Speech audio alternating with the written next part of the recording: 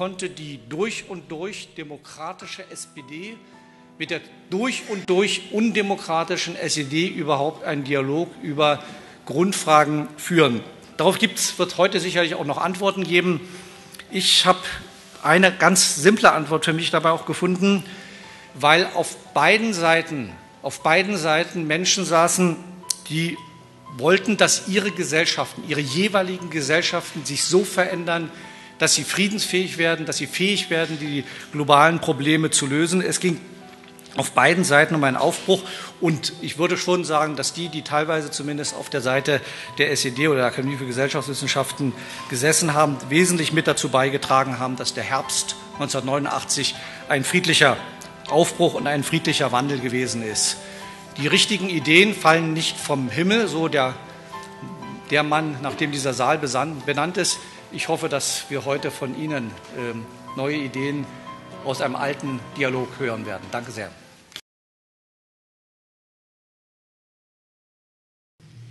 Das scheinbar Unmögliche wurde möglich, zunächst weil die tiefen Konflikte, die sich in den 80er Jahren zuspitzten, atomares Wettrüsten Ost-West, der Konflikt Nord-Süd und der Umweltkonflikt auf beiden Seiten, auf beiden Seiten zu neuem Denken anregten und zu wechselseitigen Gesprächen.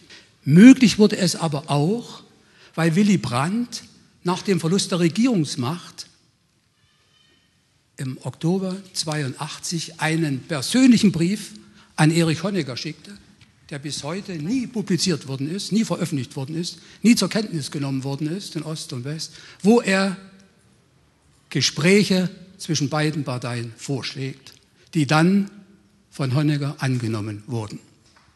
Die Gespräche zwischen der Grundwertekommission der SPD und der Akademie für Gesellschaftswissenschaften vom Februar 84 bis April 89 waren im Vergleich zu den vielfältigen anderen deutsch-deutschen Kontakten und SPD-SED-Gesprächen ein Sonderfall, waren ein Perspektiven- und Paradigmenwechsel.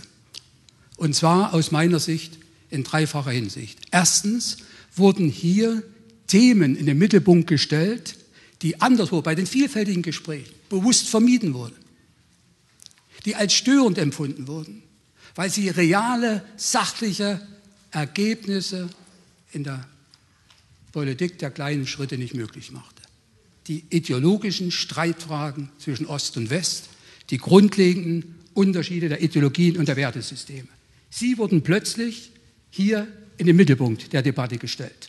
Das war ungewöhnlich und war neu. Zweitens gehört zu diesem Sonderfall, dass dafür, für diese Gespräche, nicht Vertreter der staatlichen Institutionen in Frage kommen konnten, eigentlich nicht einmal Parteiführungen, sondern Parteiinstitute, Intellektuelle aus Ost und West.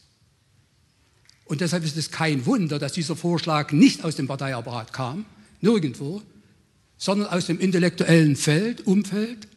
Ein Wunder war es, dass er aus der DDR kam, der Vorschlag. Erhard Eppler griff diesen Vorschlag auf und hat ihn dann von Anfang bis zum Ende mit wirklichem Leben erfüllt. Damals, das war wohl im Jahr 83, ist auf mich zugekommen der Professor Helmut Seidel aus Leipzig, von dem ich inzwischen weiß, dass er schon in den 60er Jahren von der Stasi auf mich angesetzt war, übrigens zusammen mit Habermas, der ist immer rübergekommen und hat entweder zuerst mich und dann den Habermas oder umgekehrt besucht. Ich habe nachher jeden, jeden, äh, jede Postkarte natürlich unter den Unterlagen wiedergefunden. Wie gesagt, Helmut Seidel, der 2007 gestorben ist in Leipzig und dort ein sehr angesehener Dozent der Philosophie war, sagte mir, könnten wir denn nicht auch mal über grundsätzliche Dinge reden? Äh, da wäre Ihre Grundwertekommission und dann die Akademie und so, wäre da sehr geeignet. Und da ich von Hause aus nur begrenzt naiv bin, äh, habe ich natürlich damit gerechnet, dass er einen Auftrag hatte. Seine Frau Jutta, auch eine sehr bedeutende Frau, möchte schwören, dass dem nicht so war, dass er keinen Auftrag hatte und dass er keinen Auftrag der Stasi hatte. Das leuchtet mir sofort ein, denn Mielke war von Anfang an gegen diese Gespräche. Von dem kann es also nicht kommen. Äh, ich jedenfalls war der Meinung, dass da steckt die Parteiführung dahinter.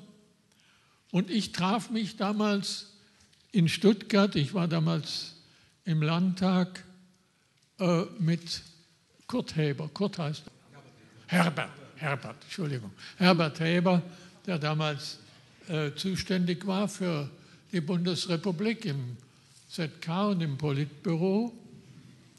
Und ich erzählte ihm das und, und wir redeten darüber. Und mir fiel damals auf, dass er ein bisschen gestutzt hat. Inzwischen weiß ich, dass er in dem Augenblick, als ich ihn ansprach, von der Sache noch gar nichts wusste.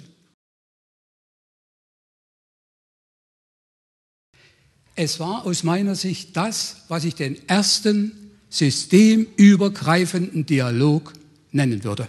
Die drei Schlüsselbegriffe, für die, die sich nicht nochmal damit beschäftigt haben, waren gemeinsame Sicherheit, friedlicher Wettstreit der Gesellschaftssysteme, Kultur des Streits und des Dialogs. Diese drei Schlüsselbegriffe wurden zusammengefügt. Gemeinsame Sicherheit hieß, Frieden, so die erste und wichtigste Botschaft, ist nicht mehr gegeneinander, zu errüsten, sondern nur noch miteinander zu vereinbaren. Das geht auf Egon Bahr zurück. Der potenzielle Gegner ist nun der Partner der Friedenssicherung und bei der Inangriffnahme der globalen anderen Konflikte. Der Gegner wird in dieser Frage zum Partner. Hatten wir da ein wirklich interessantes Thema, das mich fasziniert hat, nämlich wenn es so ist, dass wir Frieden nur erhalten können durch das, was Egon Bahr die gemeinsame Sicherheit genannt hat.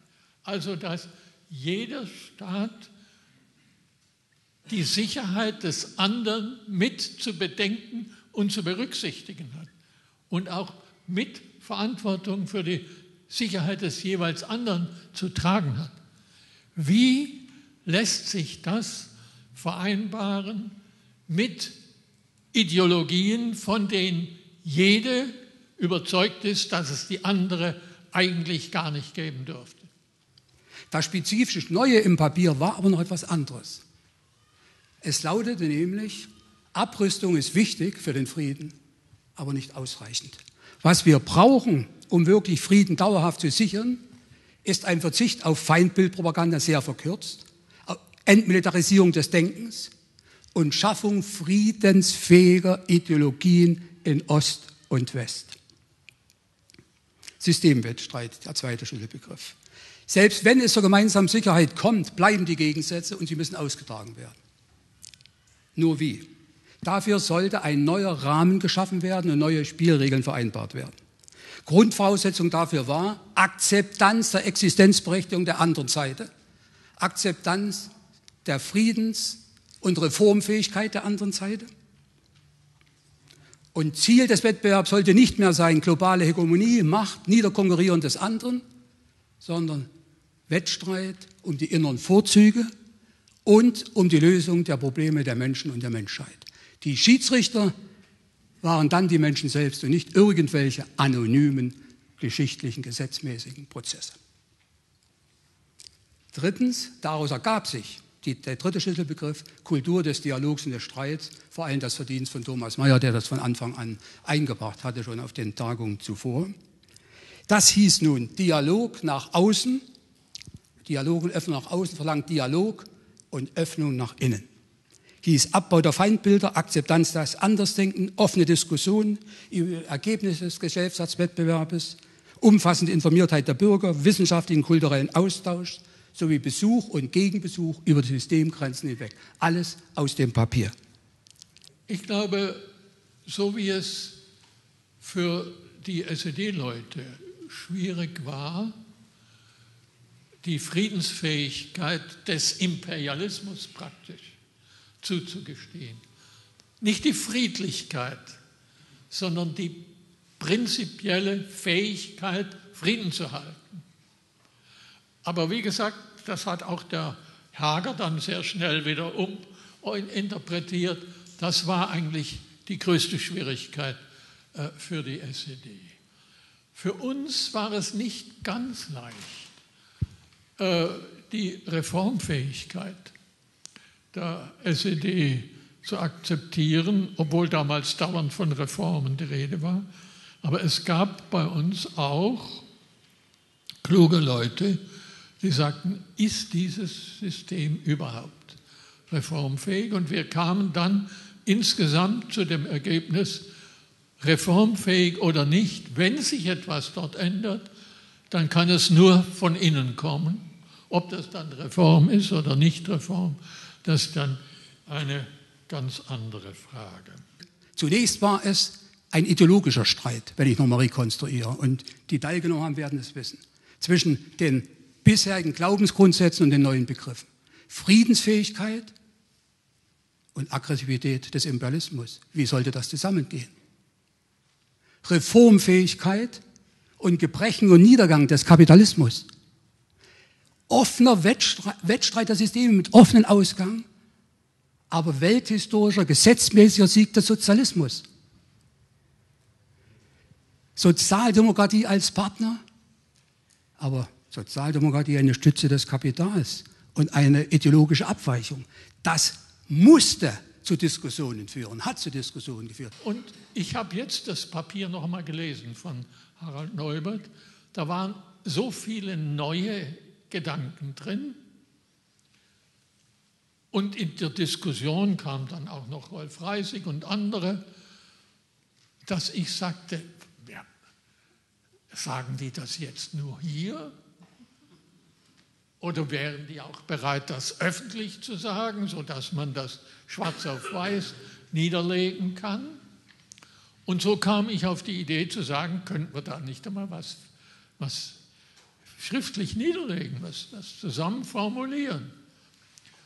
Und ja, ich war natürlich der Meinung, aber das war auch wieder falsch, ähm, dass Otto Reinhold sagen würde, ja, da muss ich erst einmal den Kurt Hager fragen. Hat er nicht getan, sondern Otto Reinhold hat einfach gesagt, ja, das machen wir. Wir waren überrascht, dass Erich Honecker dieses Papier über Nacht, wirklich über Nacht annahm. Am 17. Juli schickt es Reinhold nach der Insel Wilhelm, wo Honecker Urlaub machte. Und am 18. früh, 9 Uhr, war es auf dem Tisch von Reinhold einverstanden, EH, von großer Bedeutung für die internationale Arbeiterbewegung. Da war man schon überrascht. Es war kein Auftragswerk. Es war nicht abgestimmt mit der SED. Und es hatte Thesen, die so ohne weiteres nicht bisher akzeptiert werden konnten. Der tiefere Sinn des Papiers, so muss man vermuten, vermuten, und das hat sich leider bestätigt, ist nicht damals erfasst worden. Man glaubte noch immer an eine Doppelstrategie. Flexibilität, Dialog nach außen, aber doch Dialogverweigerung nach innen. Das hatte bisher ganz gut geklappt und sollte fortgeführt werden.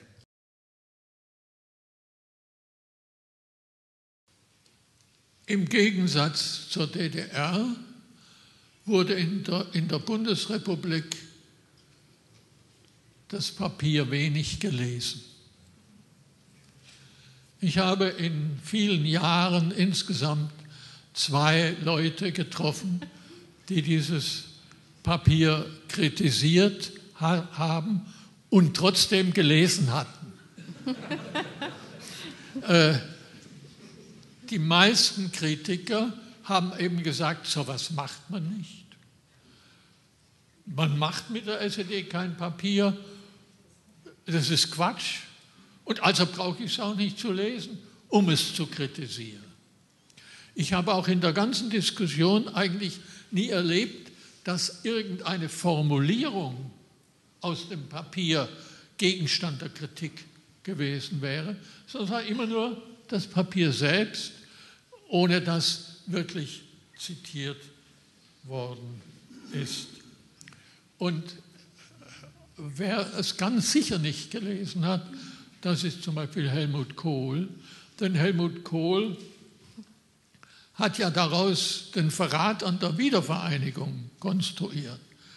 Nun ist dieses Papier überhaupt in der, im Inhalt gar kein deutsch-deutsches, sondern nur in der Entstehungsgeschichte ein deutsch-deutsches.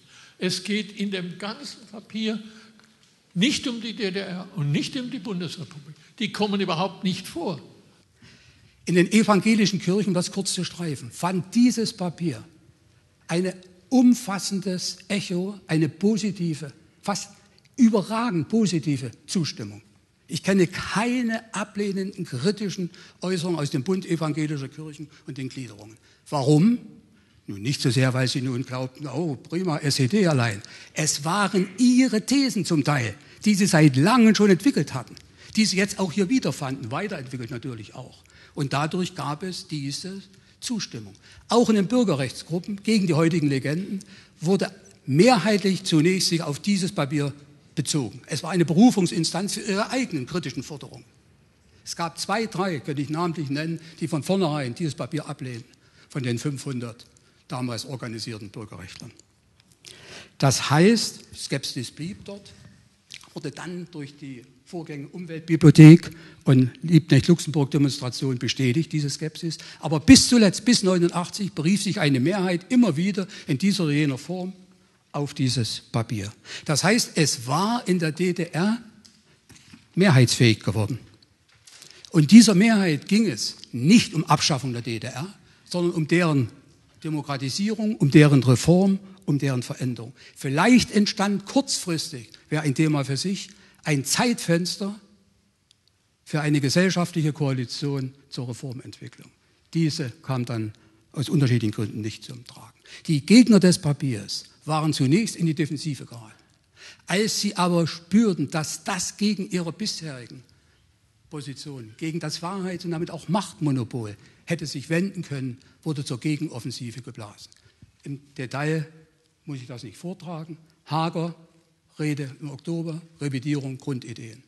Dann Joachim Herrmann, Agitationschef, weist schon im Oktober, November die Medien an, wirklich nicht mehr über das Papier zu berichten, da es zu wirklich Konfusion und Illusion in der SED führt.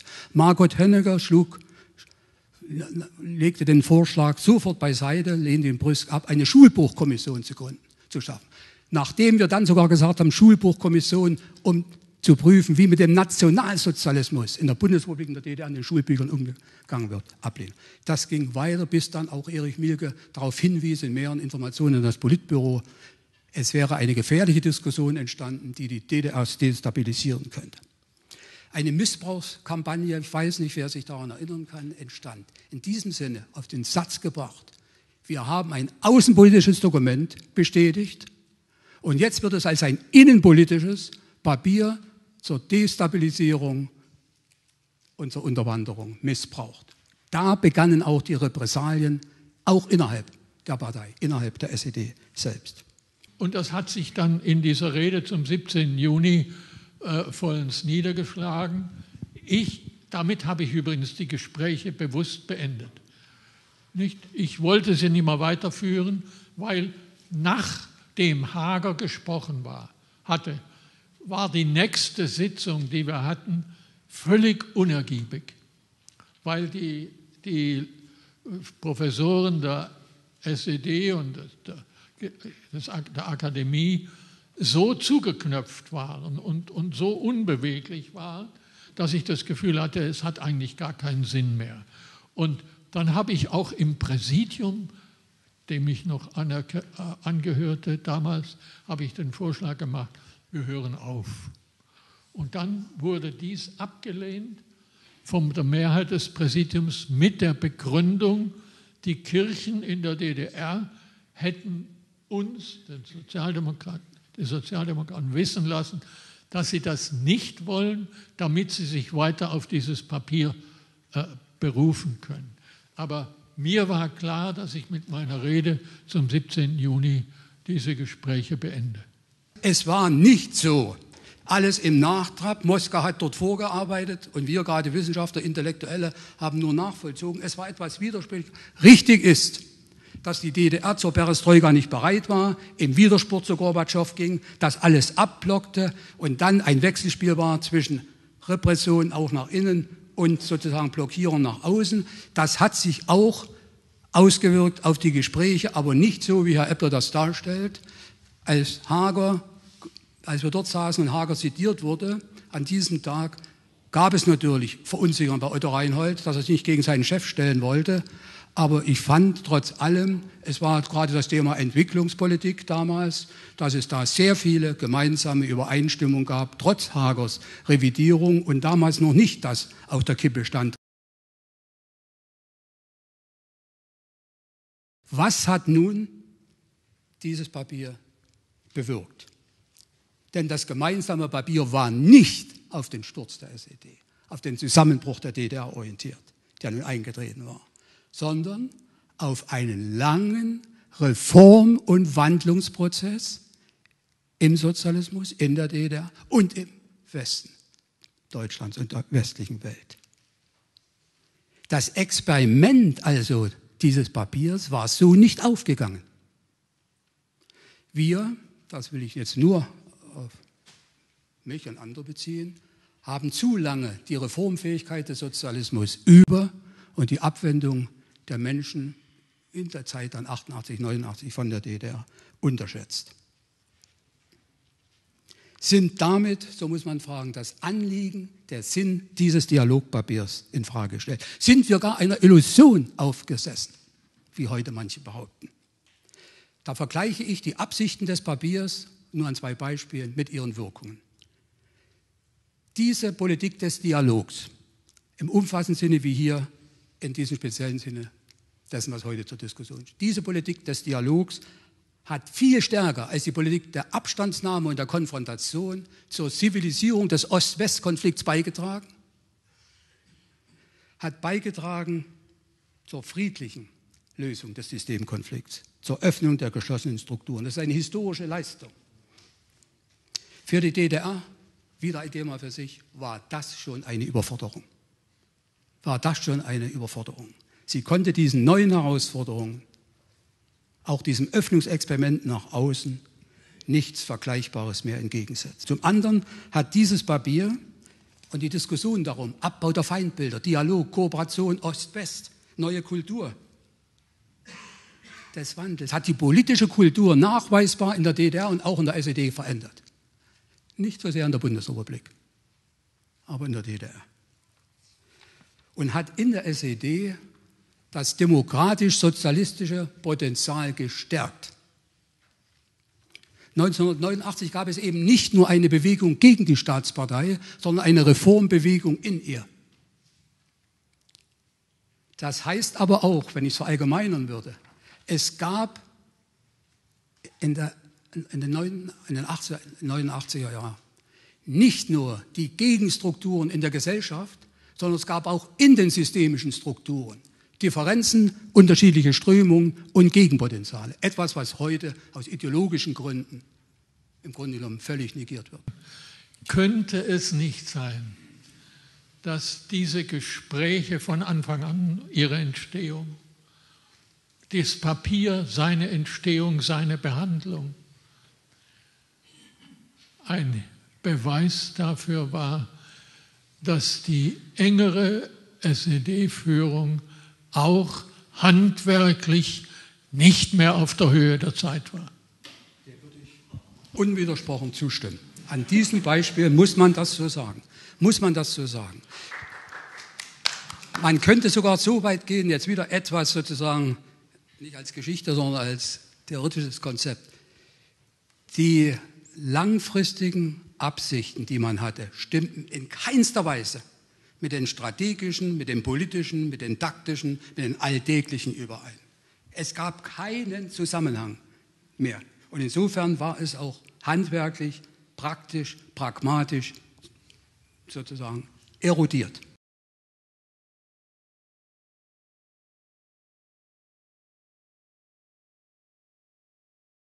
Und das hatte ihn geschrieben.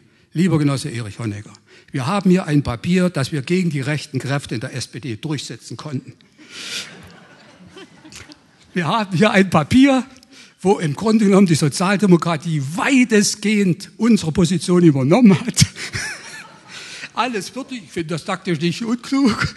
Und bitte sehr, nur in einigen wenigen Fragen mussten wir Zugeständnisse machen. Also es sah auch so aus für Honecker. Das ist schon ein gutes Werk, was die Genossen dort vollbracht haben. Herr Eppler sagt zu dem vierten Treffen Koexistenz und ideologischer Wettstreit, seien wir mit den sozusagen Impetus von Gorbatschow gekommen und hätten eigentlich Gorbatschow dort vorgetragen. Dem ist nicht so. Dem ist nicht so. Wir mussten, ich habe dort das Referat gehalten, Harald Neuer die These, ich das Referat. Wir mussten übrigens solche Referate nie vorher irgendjemand zeigen. Es war mein Ehrgeiz, das, was wir, und darum geht es mir jetzt, schon seit anderthalb bis zwei Jahren zu dieser Frage friedlicher Systemwettstreit mit neuen Rahmen, mit neuen Regeln erarbeitet hatten, dort vorzutragen. Damals war es so, dass sowjetische Wissenschaftler der Akademie aus Moskau eher den Kopf schüttelten über diese Thesen. Friedensfähigkeit des Kapitalismus, die dergleichen. Wir also in dieser Frage bis dorthin, das muss ich leider sagen, weiter waren, mutiger waren und das auch dort vorgetragen haben. Wir fanden uns bestätigt mit diesen Thesen von Gorbatschow auf dem Partei. Wir finden uns bestätigt. Das gab uns sozusagen Rückhalt, aber es ist nicht so, dass wir in dieser Zugfahrt, wir haben es früh an der Friedrichstraße erst gekauft, da war die Rede da, aber das Referat hatte ich schon ein bisschen vorher ausgearbeitet. Wir mussten also nicht umschreiben auf dem Weg nach Stuttgart, sondern wir fanden uns beschädigt. Ich halte das für wichtig.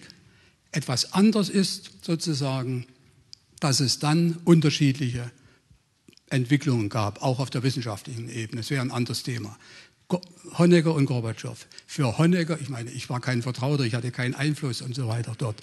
Aber man weiß es, für Honecker spielte Gorbatschow eine permanente, das war ein permanenter Dreh- und Angelpunkt. In jeder Hinsicht. In jeder Hinsicht. Wir spürten das nur indirekt, weil im Grunde genommen immer dann über Reinhold sozusagen Thesen in die Akademie kamen, die ausgearbeitet werden sollten.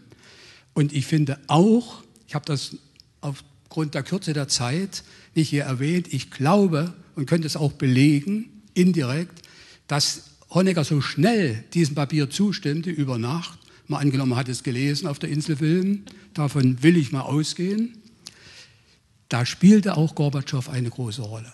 Das wusste man damals nicht sofort, aber als dann die große Weltkonferenz der kommunistischen Parteien in Moskau war, von ich weiß nicht wie viel, 80 Parteien und so weiter jetzt da waren, da war es Honecker, 88, obwohl schon die Gegenoffensive in der DDR lief, der das Papier genüsslich rauszog und dem Genossen Gorbatschow offerierte, was doch die SED für eine flexible Politik machen würde, wie weit sie doch sei, wie sie mit den Sozialdemokraten sich gut verstehen würde und verständigen könnte und dass er indirekt keine Belehrungen brauchen würde. Die KPDSU war böse auf das Papier. Und zwar nicht so sehr auf den Inhalt, sondern darauf, dass das die Germanen unter sich gemacht haben. Die Germanen unter äh, sich. Der, der Botschafter Kwitzinski, den ich gut kannte, der hat mich regelrecht bestellt. Ja? Und äh, ich bin also auf die Botschaft gegangen und dann hat er, mir, hat er mich beschimpft. Und zwar sagte er, soll wieder die Welt am deutschen Wesen genesen? So weit ist er gegangen.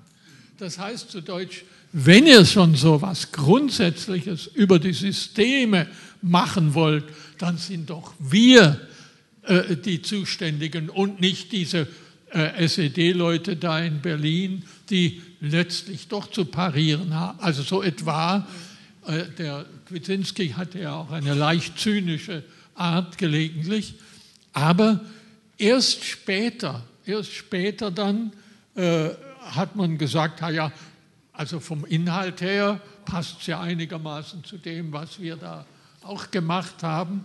Aber die erste Reaktion war einfach, das geht euch einen feuchten Käse an, das sollte, wenn ihr was mit, mit so etwas machen wollt, dann müsst ihr nach Moskau kommen und nicht an den Scharmützelsee. Dieses Papier ist bewusst nicht mit der Sowjetunion abgestimmt worden, weil es nicht einmal mit der SED-Führung abgestimmt worden ist. Nicht einmal mit Hager, mit niemandem. Bedauerlicherweise, das ist nun wirklich mehr als bedauerlich, nicht einmal in der Delegation der an den Gesprächen Beteiligten. Das heißt, Erich Hahn und Harald Neubert bekamen das Papier in dem Moment am Vorabend, als es veröffentlicht wurde. Das ist ein anderes Thema. Das ist ein anderes Thema. Otto Rhein, das habe ich ausgearbeitet, den Entwurf. Also Thomas Mayer und ich natürlich. Ich meine jetzt auf der SED-Seite mit Otto Reinhold abgestimmt, seine Hinweise bekommen. Ich will jetzt gar nicht werden. Er hatte Bezug zum Apparat, zum, zu Hager und wusste, was durchgeht und was nicht. Und permanent sagte Rolf, das geht überhaupt nicht. Das kriegen wir niemals durch. Hier müssen wir verändern, hier müssen wir Einfluss nehmen und so weiter und so fort. Weitestgehend ist das nicht gelungen, denn ich glaube, Thomas, wir haben ganz gut diese Position, die du vorgetragen hast, auch im Papier wiedergefunden, bei ja, gewissen sozusagen Einengungen. Das heißt, Otto Reinhold, und dann komme ich zu der Frage dann auch, ging davon aus, es lässt sich so nicht sofort durchsetzen. Und genau das war sozusagen der SU, warum sie verschnupft waren. Reinhold durfte, als das Papier veröffentlicht wurde, hat einen Artikel geschrieben für die Pravda, sollte dort veröffentlicht werden über das Papier, wurde abgelehnt. Erst ab 88 dann im Grunde genommen wird das Papier aufgegriffen, wie Sie schon sagten, Herr Eppler. Aber vorher gab es das nicht.